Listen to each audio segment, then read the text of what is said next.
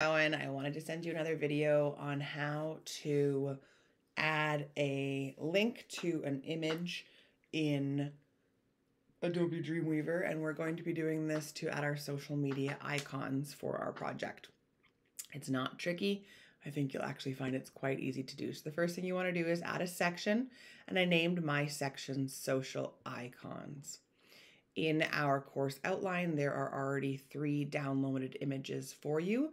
You're going to want to make sure that you have those images in the file with the other photos for the site so that they stay with the HTML site as a whole and you don't lose them just by downloading them elsewhere.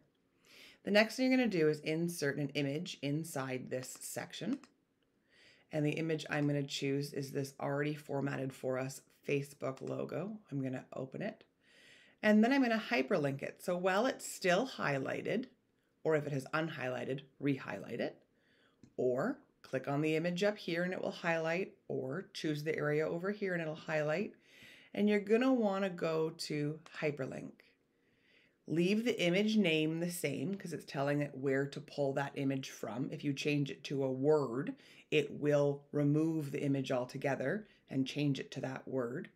And then for the link, you want to put the full domain link. So you don't want to just put facebook.com. You want to put the HTTPS at the front of that.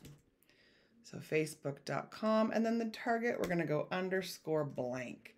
And the reason for that is when you use this code, it actually makes it so that the link that you've chosen over the image shows up in another tab so that you don't have to worry about them leaving your page and not coming back. So that's the way to choose another tab. And then we're going to click OK.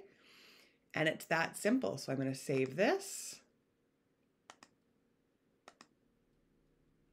And it's ready to go.